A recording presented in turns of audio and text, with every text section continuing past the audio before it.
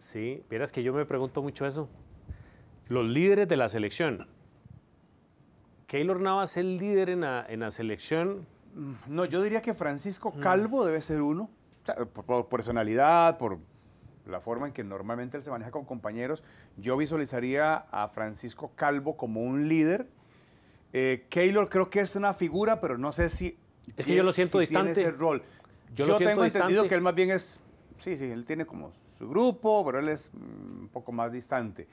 Eh, Waston era líder y no está, Celso era líder y no está.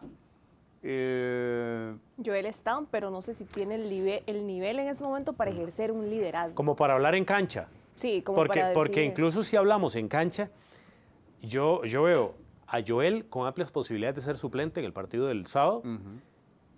Incluso les digo, veo a Calvo con amplias posibilidades de ser suplente en el partido del sábado. Sí, que no, ha tenido un buen rendimiento desde hace un buen rato. A Calvo le ha, le ha costado encontrar el nivel que en algún momento lo catapultó. Yo pensaría en un Juan Pablo Vargas como un posible líder de selección. Hay que ver qué rol asume Manfred en su momento. Eh, hay que ver qué rol asumen otros futbolistas, qué tanto acompaña la parte deportiva Joel Campbell, pero sí la parte meramente del liderazgo está ausente, está muy ausente. Sí, porque, porque si hablamos de que probablemente Orlando Galo sea titular, pues Galo todavía no tiene ese rol. De la posibilidad de un Alejandro Gran, tampoco tiene ese rol.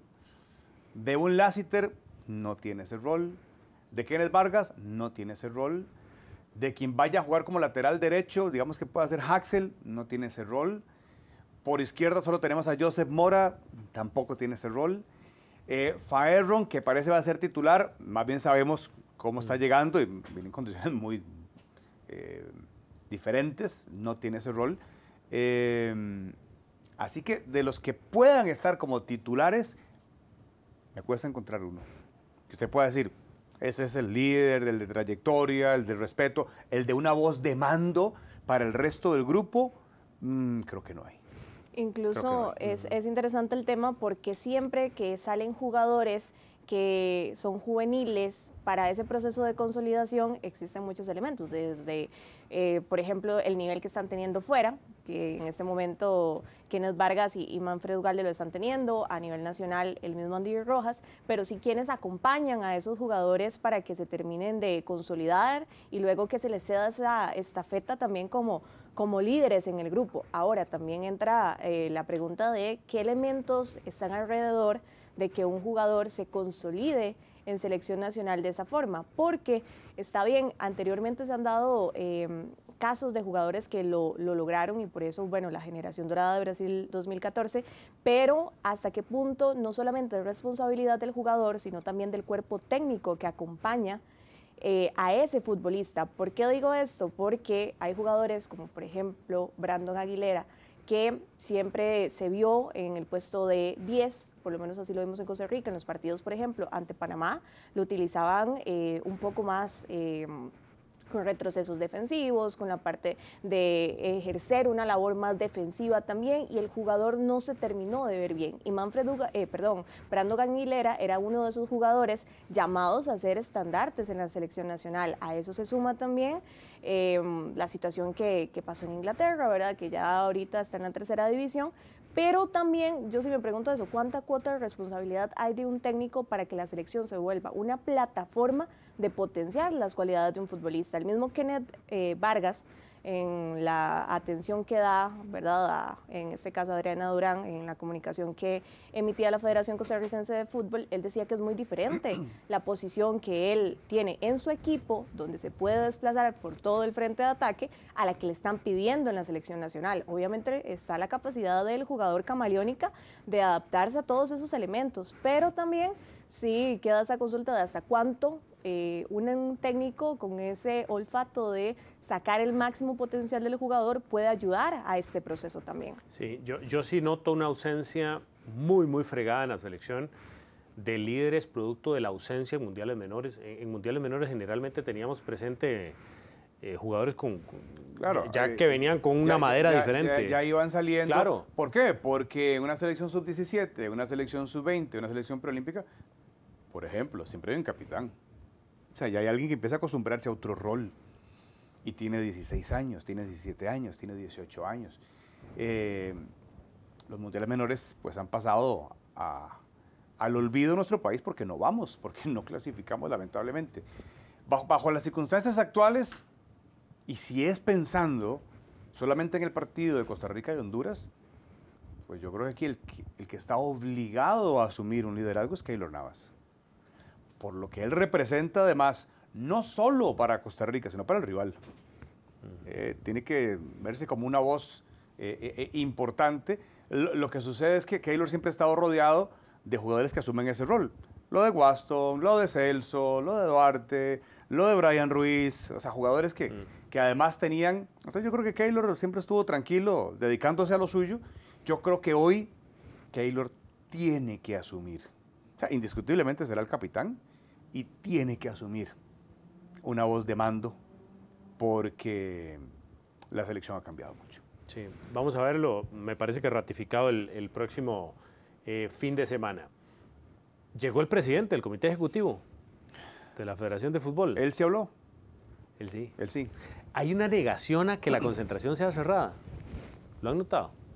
Sí, muy... En la federación dice que no, que esto, está, bien. Que hay realidades, hay realidades. Es más, la última vez que esto sucedió, para poner fechas...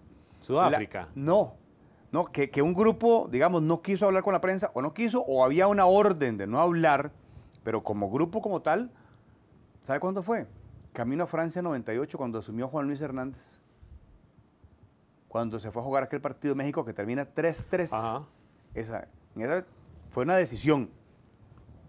No se habla. Ustedes no van a hablar con la prensa. Eh, siempre existen capítulos. Hay un jugador que no quiere hablar, hay, algún roce, hay algún. Pero que sea una decisión de decir, el grupo no va a tener contacto con la prensa. Yo no sé si, si hubo otro y se me está yendo, pero lo que yo recuerdo es con Juan Luis Hernández, cuando ese equipo se concentró en el seminario menor de Tres Ríos, previo al partido con México y se dijo, no se habla con que, que yo no hago drama, Cristian. Lo que pasa es que uno lo, pone como contexto. O sea, no lo dice. Porque es, un poco raro. O sea, sí es raro porque nunca pasa. A, mí me extraña, de hecho. Eh, y es raro porque no estamos en época brava. Es que si, digamos, no sé, Luis Fernando Suárez en la primera vuelta de la eliminatoria hacia Qatar 2022 dice, no se le habla a la prensa usted entiende que la cosa está muy caldeada. Uno lo, entiende. Aquí, no sé, yo no entendí el, contexto, pero lo que menos entiendo es cómo lo niegan. Sí, sí, sí. están negando, están diciendo, no, no, todo, todo está normal. Exactamente, son dos capítulos. El primero es que usted dice, ¿y qué pasó para que no hablen? O sea, ¿qué pasó para que...? Porque al final aquí los jugadores, no, no es decisión de los jugadores, a los jugadores los están llevando a eso. ¿Qué pasó para que el cuerpo técnico tomara esa decisión. Incluso, incluso algo, primero. algo tan simple como imágenes, como las vistas del entrenamiento. Sí, sí, no hay nada, no hay nada. Y segundo, eh, que haya una posición federativa de que todo está normal. No, todo está normal, no. Hay una posición de cero contacto con la prensa, que hay más de 30 periodistas ticos acreditados en Dallas. Pasado muchísimos años de que no había tanta presencia de prensa detrás de una selección nacional. Y paradójicamente es el momento donde dicen puertas cerradas. Que es contradictorio también porque cuando llega Osael Maroto a la Federación Costarricense de Fútbol, siempre menciona que se va a tener una política de puertas abiertas. Y al final eh, llega y esto no sucede. Obviamente él sale a los medios de comunicación a decir que es decisión del técnico, que ahí sí le respalda el punto de apoyar lo que decida el técnico. Ahora, la pregunta es por qué y no consultarlo y no ver el, por qué se está haciendo esto, qué hay de fondo, porque si hablamos de la atención a medios que ha tenido que dar Gustavo Alfaro a lo largo de su carrera como eh, técnico, la presión que se vive en otros países en comparación de acá es muy, muy, muy poca. Vean lo que dice el presidente del Comité Ejecutivo, que ha llegado hoy a, a Frisco para integrarse al resto del grupo estamos respaldando la decisión del cuerpo técnico en la posición de la concentración. A lo mejor en la siguiente concentración será diferente y, también tendremos el respaldo de la federación hacia el cuerpo técnico. Y lo que decía antes Anthony, eh, el tema de la federación, de lo que a nivel mío, a nivel personal, de puertas abiertas, en un programa estuve y era cuentas claras, lo que quieran preguntar, ningún problema, lo vamos a decir. Y sí, ustedes son el medio para comunicarnos con, con nuestra afición, a la cual queremos y apreciamos muchísimo.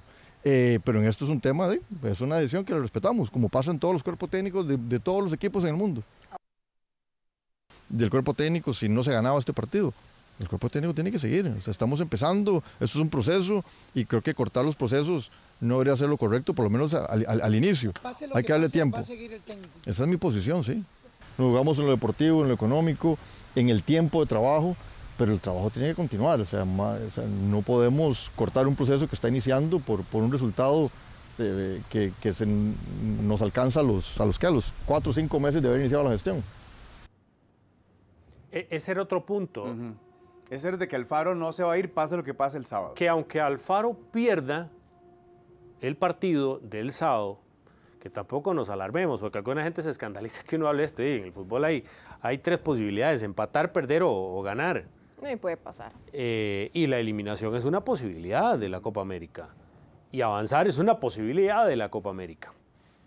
Y quedar eliminado alimentaría una eh, situación con el cuerpo técnico, producto de ya dos episodios, sí, prematuros, a mí me parece que prematuros, eh, del partido contra Panamá y este partido contra la selección de Honduras, en condiciones muy diferentes. El partido con la selección de Honduras con ya muchas horas de trabajo.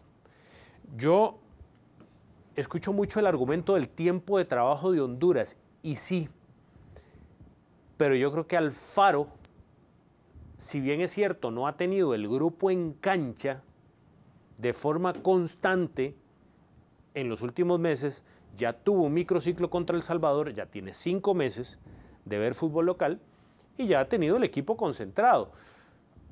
De Alfaro, ¿qué esperaría yo del partido contra Honduras? Idea, una idea. Y ver algo de, la selección nacional. O sea, ver a qué va a jugar la selección nacional. ¿Qué quiere Alfaro de la selección nacional? Ver conceptos futbolísticos aplicados en cancha. Ya lo del resultado pues obedece a muchas circunstancias y uno valorará. Yo sí creo que sería prematuro pensar en la destitución del técnico si, queda eliminado contra eh, la selección de Honduras.